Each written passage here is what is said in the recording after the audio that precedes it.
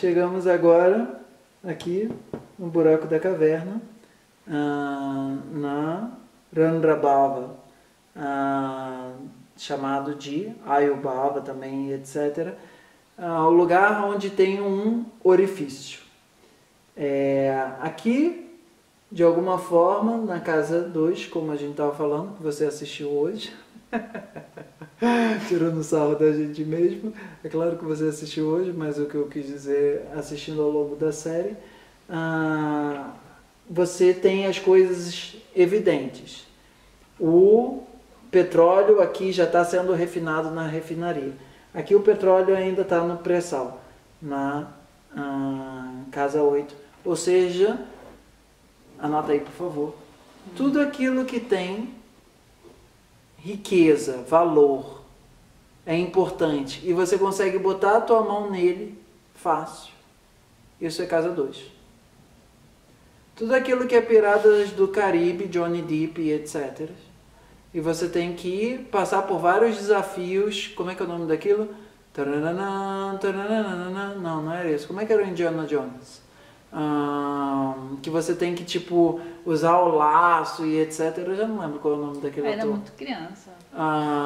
mas tudo que você, digamos assim, tem que enfrentar um monte de gente que vai te cozinhar para te comer como canibal e, etc. isso envolve a casa 8, ou seja, aquele valor, aquela riqueza que está segura e você só entra no banco e fala, ô gerente, põe esse dinheiro na minha conta, por favor ou faz isso do aplicativo. É seguro, é dois. É segundo pavilhão.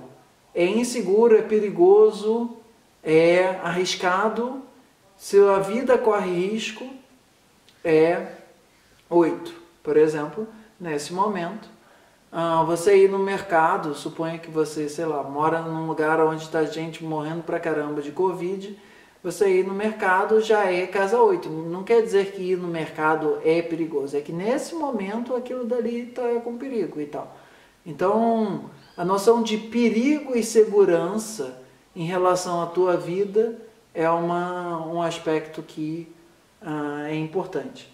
Se, por exemplo, você é alérgico à picada de, sei lá, abelha, para você abelha é um perigo muito maior do que para uma pessoa que não é. E assim vai para quem come camarão e etc. Uma vez uma prima minha comeu um camarão e tipo começou a ficar empolada, a glote quase que fechou, teve que ir no posto de saúde para tomar uma, uma vacina, etc. Então, a casa 8 envolve um lugar onde existe um tesouro, mas existem serpentes. Existe algo que você quer alcançar, só que no processo de alcançar, muitas vezes você pode se queimar, se estrepar, se envenenar, morrer, ok? Morrer nesse sentido de estar em busca de um conhecimento, de um poder, de um, uma riqueza e etc. E ela não vai ser entregue de graça. Você vai ter que ser o Aladim para entrar lá naquela câmera, câmara e pegar a, a, a lamparina do gênio e etc.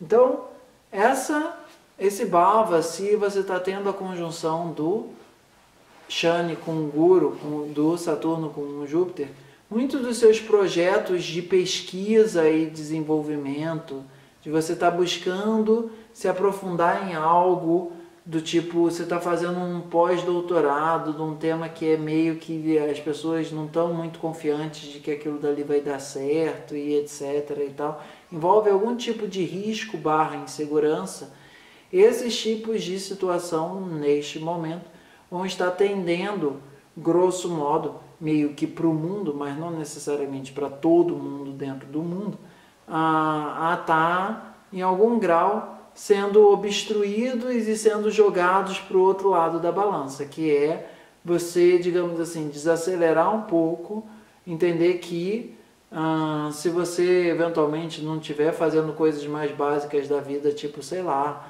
ah, escovar o dente, pentear o cabelo, tomar banho e etc. Se você está lá no laboratório 50 horas por dia, pode ser que você tenha ah, um problema de saúde e ah, você não consiga chegar lá.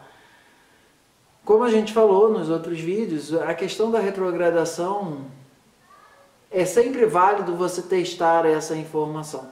Será que se eu, digamos, jogar na tabela do outro lado, do outro pavilhão, não tem mais chance da sexta acontecer? Porque, de fato, o que você quer quando você está jogando basquete não é que exatamente você acerte a cesta direto.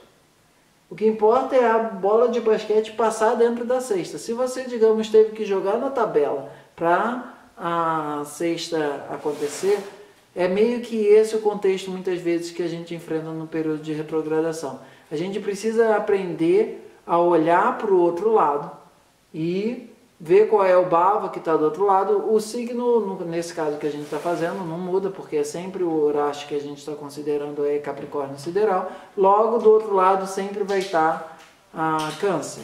E nesse sentido, a digno que é um processo de aprofundamento, a gente não falou disso até agora, Makararashi é o Capricórnio sideral, Karkarashi é o Câncer sideral. Sempre você, nesse período, vai estar sendo convidado a desenvolver um pouco mais de afeto, um pouco mais de consideração, um pouco mais de carinho. A minha esposa chegou com chocolate aqui na frente. Um pouco mais de doçura, um pouco mais de compaixão pelo outro setor que você, digamos, não está. Se você está no setor 8, pode ser que teu cachorro em casa esteja precisando um pouco mais de compaixão sua, de uh, você sair para ele para passear com ele porque ele não está fazendo cocô direito, etc. Porque você está chegando em casa muito tarde e tal. Então, uh, do ponto de vista do Urashi, o, o que vai estar sendo demandado no outro setor, não importa se ele vai ser a 2, que nem a gente está falando agora, porque a gente está falando a partir da 8, não importa se vai ser a 3, porque está falando a partir da 9 e assim vai, uh, vai ser algo relacionado a compaixão, entendimento, é, compreensão, aceitação, uh, proteção, coisas relacionadas ao Urashi, ao signo de Câncer Sideral Karkarashi. Ah, então, nesse lugar, assim, coisas do tipo você está desenvolvendo uma pesquisa ou você está, de alguma forma, aqui também tem um pouco o conceito de traição e tal, ah, nesse sentido que a gente tem, né, mais comum de ser traição de marido e mulher, muitas vezes vai estar bastante em risco. Porque, digamos assim, está todo mundo em casa e você ir encontrar a sua amante nesse momento não é uma coisa muito fácil, nem de você sair de casa e nem, digamos, de você chegar em outros lugares sem as pessoas verem, porque as pessoas estão meio que se controlando e etc. Então, qualquer coisa que você faz que é meio que proibido, meio que indevido, meio que na surdina, não necessariamente é proibido, ok? Ah, nesse momento você tem que tomar um pouco de cuidado para não ir além do que é ah, cabível, porque, como a gente já falou em todos os outros vídeos, as articulações daquela, daquele setor vão estar tá, ah, mais frágeis. E é importante a gente entender que esse conceito de articulação que a gente está falando no Macararache, por exemplo, num carro é o amortecedor barra ah, o eixo de lá que quando bate num buraco. Num armário é ah, o negocinho da dobradura lá do. Não sei qual é o nome disso, ah, que faz a porta abrir e fechar. Numa casa, uma dobradiça pode ser o cano na parede. O conceito de. Ah, dobradiça, essa palavra, obrigado. O conceito de articulação.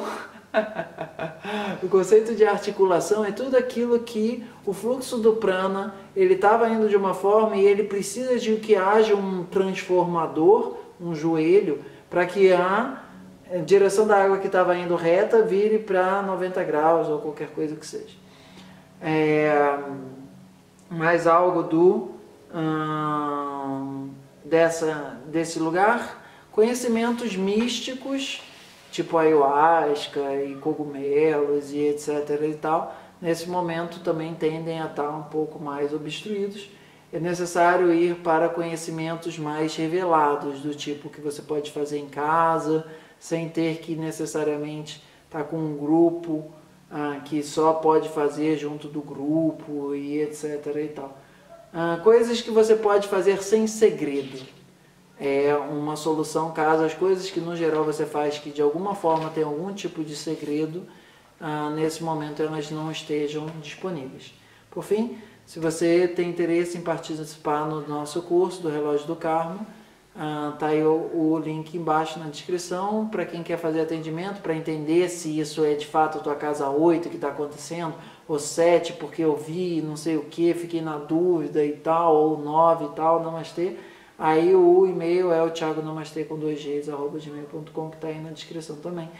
E agora a gente vai para o nosso último eixo, 612, encontro vocês, fé no propósito, força na peruca. E para você que está assistindo isso neste momento, e a gente está publicando o próximo vídeo amanhã, agora eu falei certo, não falei? Te vejo amanhã. Namastê.